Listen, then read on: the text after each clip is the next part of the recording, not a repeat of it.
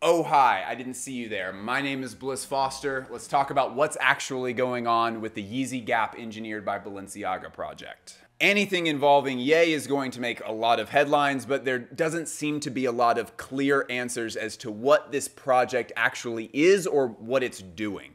We've been following Ye's journey in fashion since around 2006. We've been following Yeezy specifically since 2015, and I believe that this is the culmination. Yeezy Gap is the turning point that's been coming for that entire time, for a full 16 years. The context here is really crucial, so grab a snack, get comfortable. We're gonna have the full reveal of how this works, but we have a lot of setup that's really necessary so that we can contextualize what we're looking at. Let's go through the basic building blocks of this project and figure out what each is contributing. So we have Ye, The Gap, and Balenciaga. Ye's lineage in fashion is so big and so influential that, especially for my audience, it would take a few hours to summarize that fully, but we're just gonna stick to the pieces here that are necessary for our purposes right now. Ye was one of a few people who adopted an aesthetic years ago that would end up changing the public perception of fashion, and that was mixing high and low pieces. Obviously, Ye was not the only one to do this, and as much as I would like this to be a Virgil Gap Balenciaga video, it is not. Ye was crucial in the mass popularization of streetwear and bringing millions of young people into fashion as a hobby. Why is this important? Because Ye changed the public priority in fashion from owning the right gear to following a vision. This is super crucial. If I was watching, I might have missed it. Pay attention, come in with me. Before Ye stepped in, sneakerheads, fashion victims, and the cringiest term of the 2000s,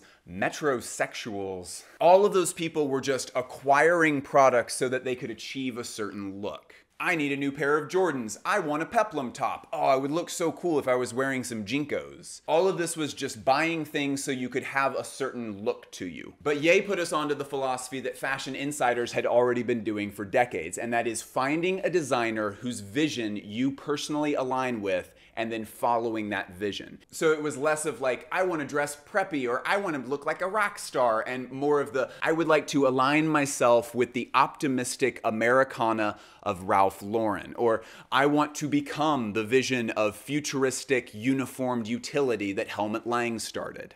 Ye probably embodied this best at the Yeezy Season 3 presentation, where the crowd of people that were standing in the center of Madison Square Garden weren't even wearing the Yeezy collection. They were wearing thrift store clothing that was in the same color palette. As Ye evolved and made more clothes for the Yeezy line, he took this idea a step further when he kind of landed on the idea that utilitarian clothes are the ones that just make the most sense army surplus stores, technical gear, all of that kind of things.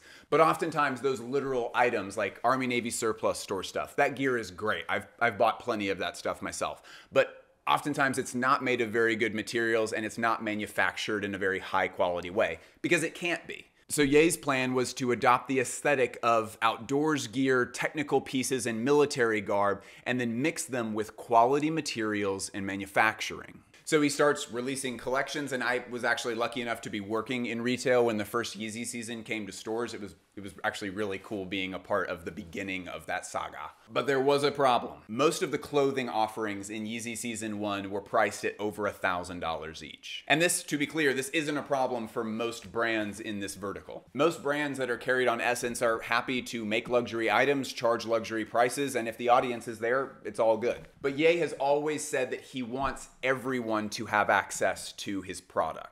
And he's been able to accomplish that with the Yeezy shoes. I mean, he said at one point, like, everyone who wants Yeezys will be able to get a pair of them. And for the most part, that has been true. There are some Yeezys now that are priced at under $100. It might not be the exact colorway or the exact model that you want, but if, if you want Yeezys, you can very likely get them. And it's really funny. Do you remember back in 2016 when Kanye called the CEO of Payless Shoes? He was publicly really driving home this idea at the time that it's like, I want everyone to be able to get a hold of these shoes. I just need the infrastructure to make them. And the, the CEO apparently didn't understand what the vision there was. And so he had to kind of let that die on the vine. But for anyone not in the United States, Payless Shoes is like the cheapest place to buy new shoes in the United States before Walmart kind of took over that. But yeah, the, the goal has always been I, I want this to go out to the people. I don't want it to just be for the select few. I want everyone to have it. And that, friends, is where the gap comes in. Okay, let's see if we can get this. Hang on. If you're new here, hi, my name is Bliss. I'm a full-time independent. What the fuck? Okay, I. That was, that's literally the first time I've ever gotten that. I, I think I cheated. Look, if you came here and you've never been here before, please subscribe. I feel that I've earned it. I am a full-time independent fashion critic. I did like a huge breakdown of all of the references in the Donda event releases that were all engineered by Balenciaga as well. I've done coverage of Raf's work at Prada, and I have done a metric ton of coverage on Balenciaga. And if you need a place to talk about fashion with people that really want to actually talk about fashion, my private Discord server is the best place on the internet to do that. You have to join it through the Patreon. It costs three bucks a month, but uh, yeah, the community speaks for itself. That place is incredible. I cannot believe I just did that again. I swear I have never I have never done this trick before today. That was the most successful Patreon plug I have ever done. Let's go. Feeling really good about this now. The Gap. For everybody who's my age or younger, I'm 32, you probably don't have a lot of reference points for how the Gap fits into fashion cultural history. So let's break this down a little bit. Fashion has always been about individualism, right? You're, you're buying these items and maybe paying a lot for these items in order to express your true self. That's at least the idea, right? Stand out from the crowd, be yourself, you're the lone wolf, you are the hero, you're the main character. But then, in the 90s, the Gap came in with a very different idea. Quote, the secret power of the Gap is that the product was meant to be a person's own. If you were walking down the street, nobody would stop you and be like, oh my God, you're wearing the Gap skinny black pants. They would be your black pants. And that quote is from Trey Laird. He's one of the advertising executives that's worked on Gap campaigns in the past. The Gap introduced this idea that you as an individual could wear sensible, understated, well made, well priced clothes that didn't make you stand out from the crowd. They promoted this idea that you didn't need to stand out from the crowd, that you were already yourself, you're already an individual. They ran a series of print ads called Individuals of Style that included a number of major players in fashion like Karl Lagerfeld and Naomi Campbell, along with other just general creatives like a gallery owner and hilariously enough, Salvador Dali. Isn't that great? Did you know that that had happened? Just Salvador Dali selling some khakis. even in their TV ads, there would always be this idea of, hey, you don't need crazy clothes to tell people that you're a creative person. Just get good basic gear and then you can focus on your art. Also, bonus points if you can guess who this is. Gap campaigns have driven this message for decades at this point. There, there was a recent tagline for their video ads that just says simply dress normal. So here's the, the one underlying point that I really want to stick with you. So, hey, no new tabs, please. No new tabs. Come back. Stay with me. Come on, come on. There are a lot of examples of major corporations like H&M and Uniqlo that do collaborations with luxury designers so that they can kind of do this uh, social exchange with each other. The luxury designer gets paid by the fast fashion company like Uniqlo or H&M. They're, they're paid money in order to do this collaboration. H&M and Uniqlo get to elevate their fast fashion juggernaut clothing because they now are associated with the designer. While those elements are at play here, I mean, the, the Gap's idea is that we would like to increase our social capital, and Yeezy, I'm sure, is getting paid by the Gap to do this.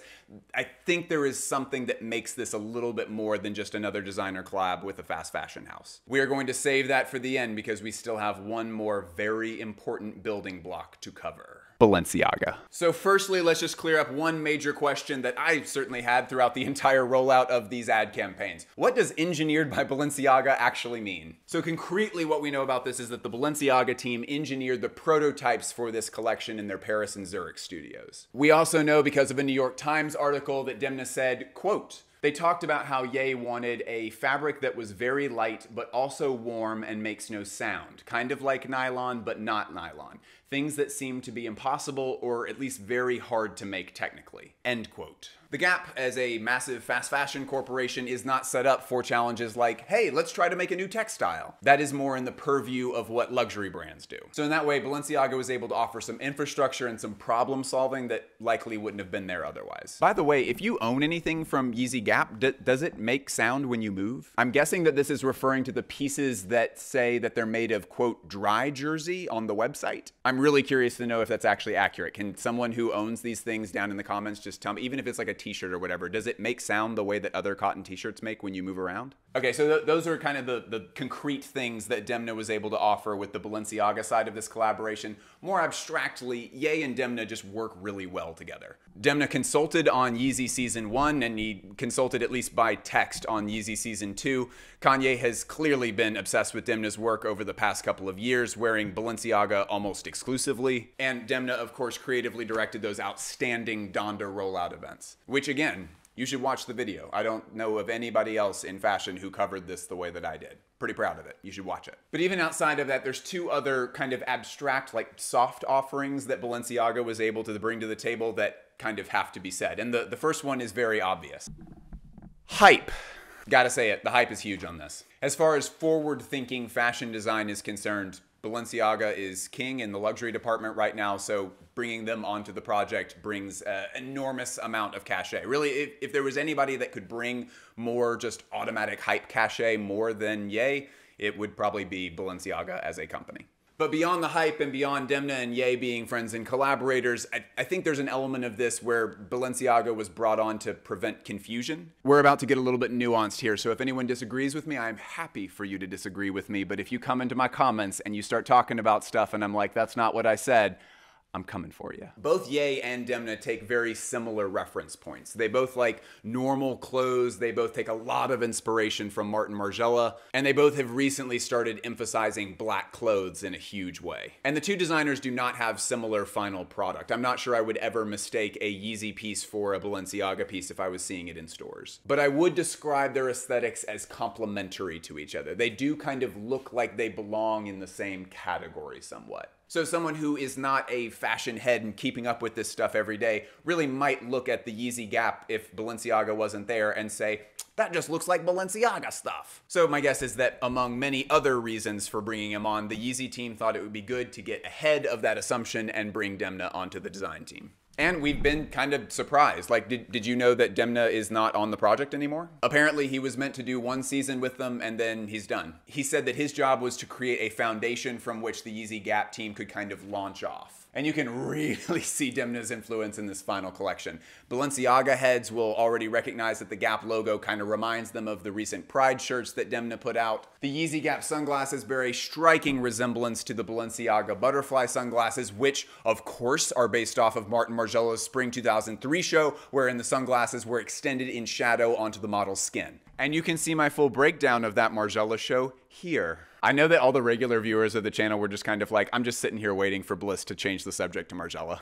I think I kept that pretty classy. I think I showed a lot of restraint. But yeah, anyway, this and this does look like this. So there's that. But then there's more subtle stuff as well, like the center pocket on the skin tight pieces looks like it's just the right size to fit a phone into the pocket, but barely have the camera poking out the top. And so it's like kind of almost like a reverse body cam for cops kind of thing, where like civilians are being given cameras. So it's kind of the ongoing theme of surveillance that Demna has been pushing at Balenciaga for, at this point, three or four years. And there's this vague feeling of Balenciaga with the ongoing dystopian feeling that the Yeezy Gap brand has adopted so strongly. Anything sleek and futuristic and dystopian is going to, at least to me, feel a lot like Balenciaga. Okay, okay, okay. Believe it or not, we actually needed to cover all of those things in order to talk about what's actually going on here. Did you notice there's no more curtain over here, by the way? My parents have been working on this room for literally years. And I mean, like as long as I've been filming in this room, there's been a curtain here. This room is finally done. It looks brilliant. We're not going to go in there, but it's done. You should congratulate my parents. You will remember that we are trying to answer the question, what is Yeezy Gap actually trying to do here?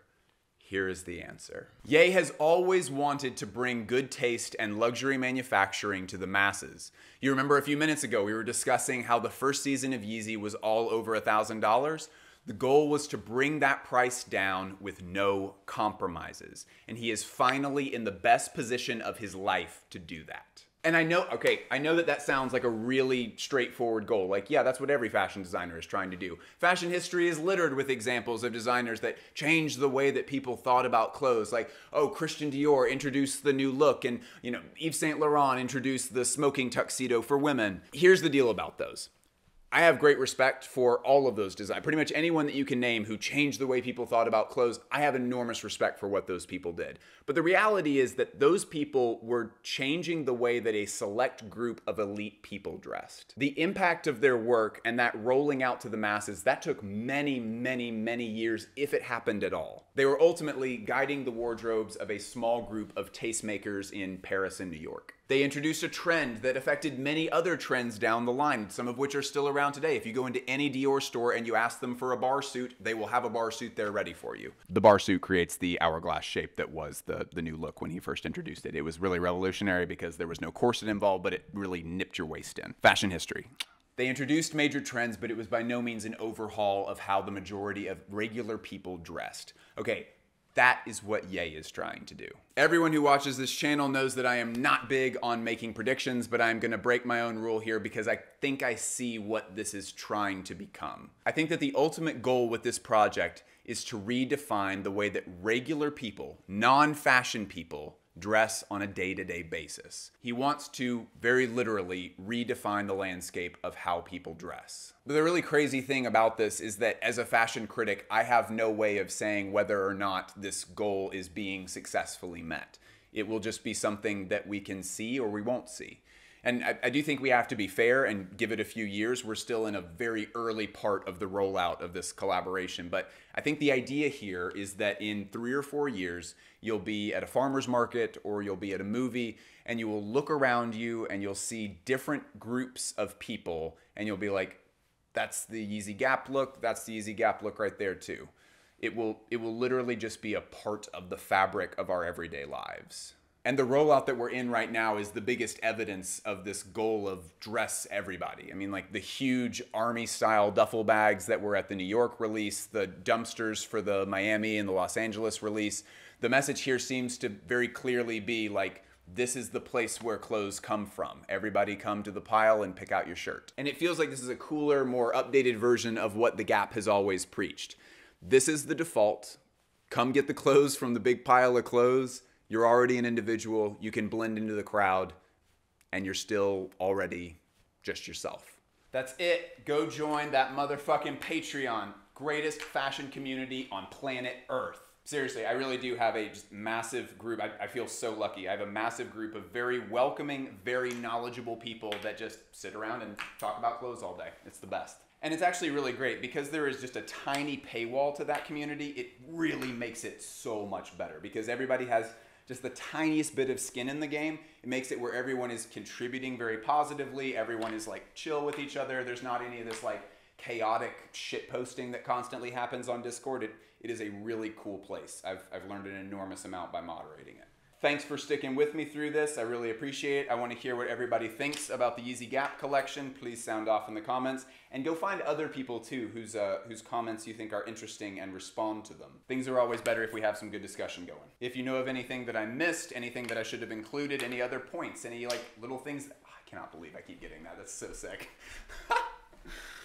yeah, if you know of anything I missed, uh, please tell me in the comments as well. I love you and I mean it. Talk to you soon. Peace.